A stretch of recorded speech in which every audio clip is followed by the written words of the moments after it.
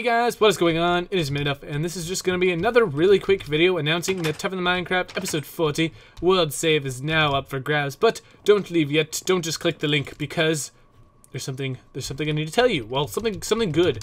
So I'm going to try to add the world save to the downloads as soon as I finish recording the video. So this may even mean that the world save might be up before the video is even live. I'm not sure if I'm going to do that, but what I'm going to try to do is after every video, I'm going to try to update the world save. So you will not just have one every five episodes, you will have one every single episode. I'm going to do this until the world saves get really big where it takes a long time to upload. Right now, they're, they're pretty small. It takes only like a minute to upload the world save, but I can tell you in a, I don't know, like 50 more episodes, maybe this world may get huge and it might take forever to upload.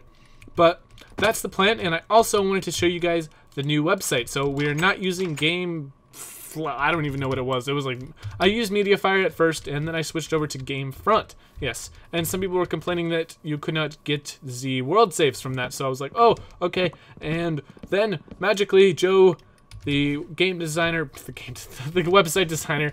What if he designed games too? That'd be so cool. Like Minituff the game. Oh my gosh, make it happen.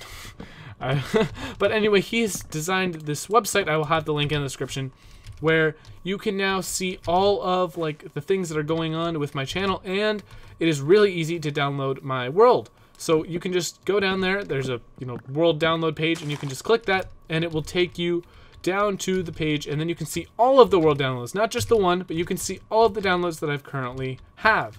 So it's really awesome, and I'm going to try to be adding the saves to that world as often as I can. So make sure you bookmark that page or save it somewhere so because it will be that same web page every single time. That's one of the beauties of it, and it is going to be amazing. So yeah, guys, that is going to be it for this video, and I will see you guys in the next video, and make sure you tell me what you think of the website, and if there's any improvements you like, any things you don't like, anything you really like, just just tell me this kind of stuff because I'm sure Joe likes to make this website the best that he can do it and I'm sure he would be open to taking constructive criticism, open to taking suggestions and all of that awesome stuff. Right now I'm pretty happy with the way things are going and I'm so glad I got to work with him. So yeah guys, that is it and I will see you in the next one. Peace out.